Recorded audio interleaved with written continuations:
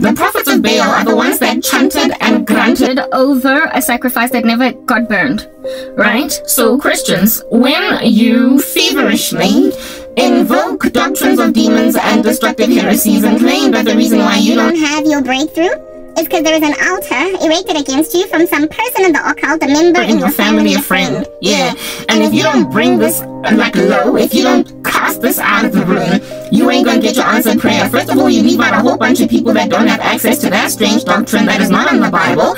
And secondly, you make sure that you look like a chanting, grunting prophet of Baal when your answered prayer does not come through despite all of the rituals that you do in order to conquer. The rituals of which involve Christian principles. So all of your fasting, all of your praying, all of your random insistences that this year is me basically handling the occult. Guys, when you do that and you don't get answered prayer, it's largely because God is not yet giving you a husband. He's not yet giving you a job. He has made you wait in patience, enduring evil patiently, that you might ultimately be redeemed out of your sorrow after suffering for a little while, and then God will glorify you later. That's what he's doing. But when you try to grunt, you make him look like Baal. Like, stop. It's unbiblical.